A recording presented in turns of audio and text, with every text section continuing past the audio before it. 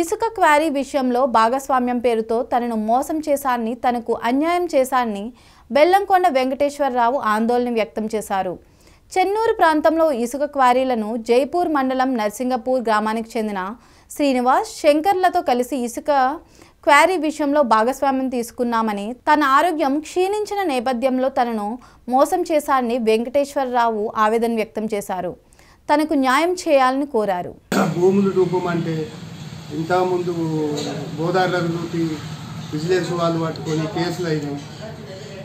దాన్ని పర్మిషన్ రాకుండా గవర్నమెంట్ ఆపేసింది. మళ్ళా తెలంగాణ గవర్నమెంట్ వచ్చిన తర్వాత నాతో కాక నాకు ఆరోగ్యం బాగాలేక తాటిపల్లి శ్రీన్ అనే వ్యక్తికి పార్ట్నర్గా ఇచ్చినాము జైపూర్ డీలర్సీను ఆయనతోటి కుమ్మక్కై వీళ్ళు నాకున్న టెన్ పర్సెంట్ వాటాను కూడా ఇవ్వకుండా నేను ఇచ్చిన కొన్ని యాభై అరవై లక్షలు వాళ్ళకి ఇచ్చినవి వాళ్ళ రొయ్యల పెంపకానికి కానీ దానికని దీనికని నా దగ్గర నేను వేరే కాడ పొలం గురి పెట్టి పొలం అమ్ముకొని తెచ్చిచ్చిన. తెచ్చిచ్చి వాళ్ళకు అన్ని పైసలు ఇస్తే ఇప్పుడు ఐదారు సంవత్సరాల నుంచి నన్ను సతాయించుకుంటూ అక్కడ వర్క్ అయిన దానిలో కూడా పార్ట్నర్ ఇవ్వకుండా